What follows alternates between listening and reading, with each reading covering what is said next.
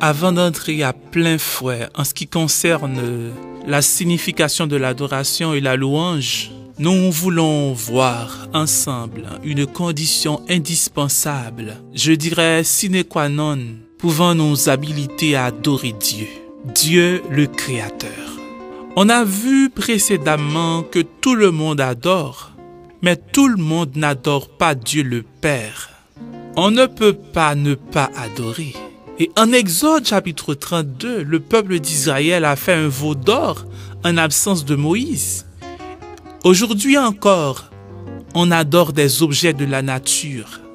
Mais pour adorer Dieu, Dieu le Père, le Créateur du ciel et de la terre, il faut remplir des conditions. Et nous voulons considérer la toute première, qui est celle de naître de nouveau. Naître de nouveau, naître une deuxième fois. La nouvelle naissance, voilà un sujet qui fait problème. Et essayons de méditer sur ce chapitre, ce chapitre des Saintes Écritures, Jean chapitre 3.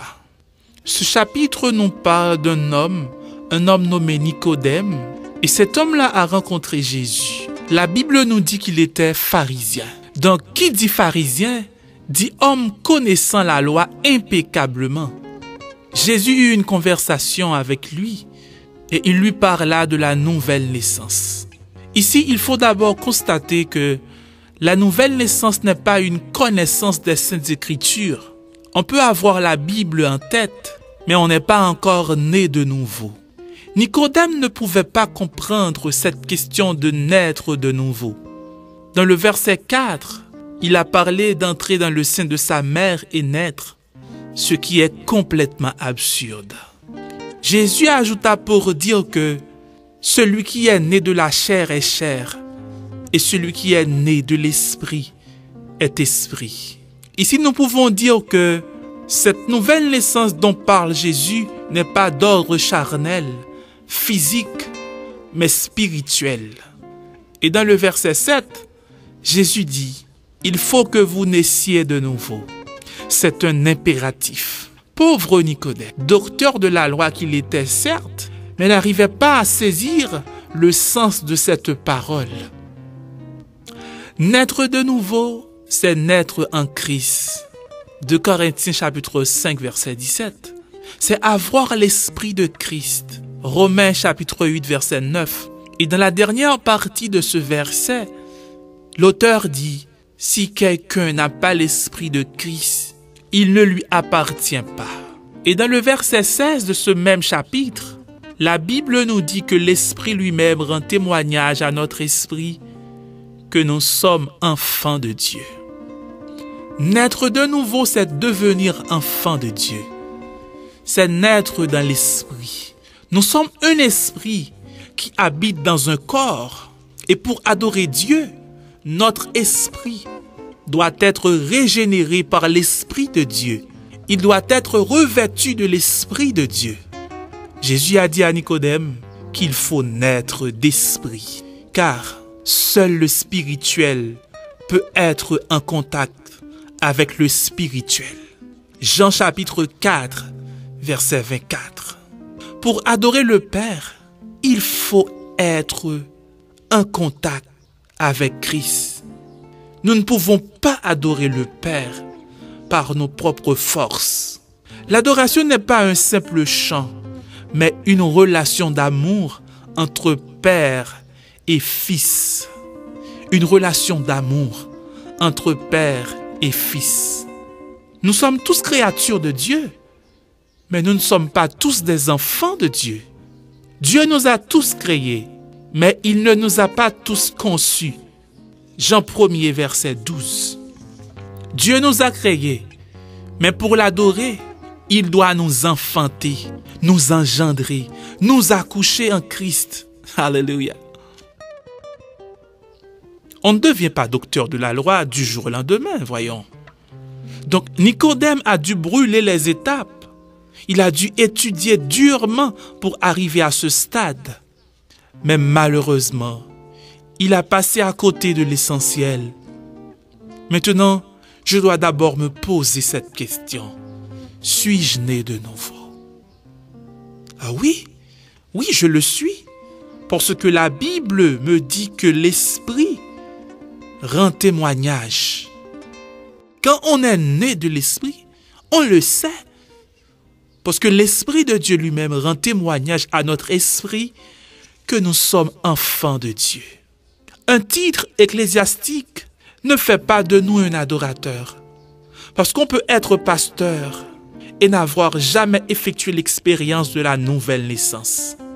C'est bien triste de le dire, mais c'est la réalité. On peut faire confiance à quelqu'un et lui place comme chef de louange au sein d'une église locale. Mais pourtant ce quelqu'un-là, il n'est pas encore élu dans l'église universelle. On peut être ancien de l'église et être encore homme adamique.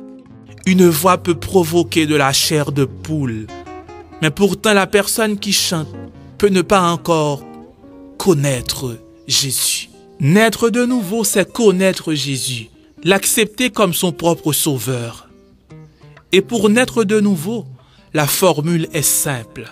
Il faut d'abord admettre, admettre que vous êtes pécheur et perdu. Romains chapitre 3 verset 23. Romains chapitre 6 verset 23. Maintenant, vous devez vous repentir. La repentance qui est un changement de direction, un changement de mentalité, de position. Et le mot grec pour repentance est métanoïa. Lisez Actes des Apôtres chapitre 17 verset 30. Luc chapitre 13 verset 3. Troisième chose, acceptez que seul le sang de Christ peut vous purifier. Hébreux chapitre 3 verset 22. Romains chapitre 5 verset 9. 1 Pierre chapitre 1 verset 18. Ensuite, reconnaître et réaliser que le salut est gratuit. Le salut est gratuit. Éphésiens chapitre 2 verset 8. Finalement, recevoir Jésus-Christ comme votre sauveur. Romains chapitre 10 verset 9. Maintenant, je vous pose la question. Maintenant, je vous pose la question. Êtes-vous né de nouveau? Je ne vous demande pas si vous êtes membre d'une église locale. Je ne vous demande pas si vous, si vous chantez super bien au sein d'une chorale. Je ne vous demande pas non plus si vous êtes bishop. Si vous n'êtes pas encore né de nouveau, vous n'êtes pas encore prêt à adorer Dieu. Parce que vous n'êtes pas encore son enfant. Mais la bonne nouvelle, c'est que vous pouvez l'être aujourd'hui. Vous pouvez devenir enfant de Dieu maintenant.